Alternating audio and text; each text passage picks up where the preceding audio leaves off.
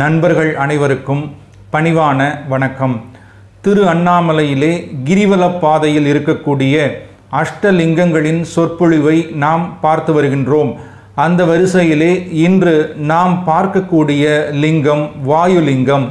இந்த உலகத்திலே அனைத்து உயிர்களும் இன்றளவும் மிக ஆரோக்கியமாக வாழ்வதற்கு காரணமானவர் வாயு பகவான் அந்த வாயு பகவான் வந்து ஒரு மூணு நிமிஷம் இல்லை அப்படின்னு சொன்னால் இந்த உலகத்திலே எந்த ஒரு உயிரினமுமே வாழ முடியாது. அத்தகைய பிராண காற்றாக இருந்து மக்களின் வாழ்விற்கு ஆதாரமாக விளங்கக்கூடியவர் இந்த வாயு பகவான்.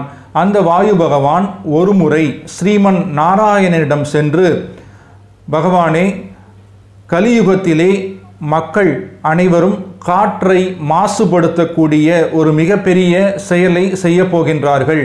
அவ்வாறு அவர்கள் செய்யும் பொழுது அதனால் ஏற்படக்கூடிய உடல் சம்பந்தமான பிரச்சனைகள் யாவும் அவர்களுடைய உயிரையே பறிக்கக்கூடிய அளவிற்கு மிகவும் கொடுமை வாய்ந்ததாக இருக்கப் போகின்றது. இதிலிருந்து மக்களை காப்பாற்ற அவர்கள் எந்த ஆலயத்தை வழிபட வேண்டும் என்று ஸ்ரீமன் நாராயணனிடம் சென்று வாயு பகவான் கேட்கின்றார். அவ்வாறு கேட்கும் பொழுது வாயு பகவானை நோக்கி ஸ்ரீமன் நாராயணன் வாயு பகவானை பூத நாராயண பெருமாள் என்கின்ற திருநாமத்தோடு நான் எழுந்தருளி இருக்கக்கூடிய திரு அண்ணாமலைக்கு நீ சென்று அங்கே இருக்கக்கூடிய ஈசனை வேண்டி நீ சிறிது காலம் தவமிருந்து வருவாயாக. நீ வேண்டிய வேண்டுதலுக்கு என்ன வழிமுறை என்ன தீர்வு என்பதை அந்த சிவபெருமானே உன்னிடம் எடுத்துரைப்பார் என்று பூத நாராயண பெருமாளாக திரு அண்ணாமலையிலே விளங்கக்கூடிய ஸ்ரீமன் நாராயணன் வாயு பகவானுக்கு யோசனை சொல்கின்றார். அதுபடி அந்த வாயு பகவானும் திரு அண்ணாமலைக்கு வந்து அதிகார நந்திதேவரிடம் அனுமதி பெற்று சிறிது காலம் தவம் செய்கிறார். அப்பொழுது ஈசன் வானத்திலிருந்து அசரீரியாக வாயு பகவானை நீ திரு அண்ணாமலையை உன்னுடைய மூச்சு காற்றை சுழிமுனையில் நிறுத்தி கிரிவலம் வர வேண்டும். வாயு பகவானையே வந்து மூச்சுக்காற்றை சுழி முனையில் நிறுத்தி நீ கிரிவலம் வரணும் அப்படிங்கிறார் எம்பெருமானான சிவபெருமான். நீ அவ்வாறு கிரிவலம் வருகின்ற அந்த வேளையிலே எந்த இடத்திலே நீ இதுவரை உணர்ந்திராத மிக அற்புதமான நறுமணத்தை உணர்கிறாயோ அந்த இடத்திலே யான் பூப்பிரஸ்தலிங்கமாக அதாவது பூப்பிரஸ்தலிங்கம்னா அதுதான் பிற்காலத்தில் வாயுலிங்கம் என்று பெயர் பெற்றது.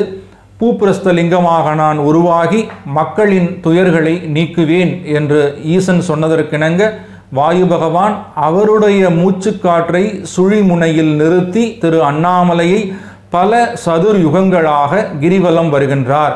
அவ்வாறு வருகின்ற வேளையிலே இன்று வாயுலிங்கம் அமர்ந்திருக்கக்கூடிய அந்த சந்நிதியின் அருகிலே வரும்பொழுது அந்த பகுதியிலே பஞ்சகிருத்திகா மூலிகையினுடைய நறுமணம் வாயு பகவானை துளைத்து எடுத்தது. அவ்வாறு அந்த நறுமணத்தின் காரணமாக அங்கே வாயு பகவான் ஸ்தம்பித்து நின்று விடுகிறார். அந்த இடத்திலே வாயுலிங்கம் உருவாகி வாயு பகவானின் வேண்டுதலை நிறைவேற்றியது. இதுதான் வாயுலிங்கம் உருவான வரலாறு.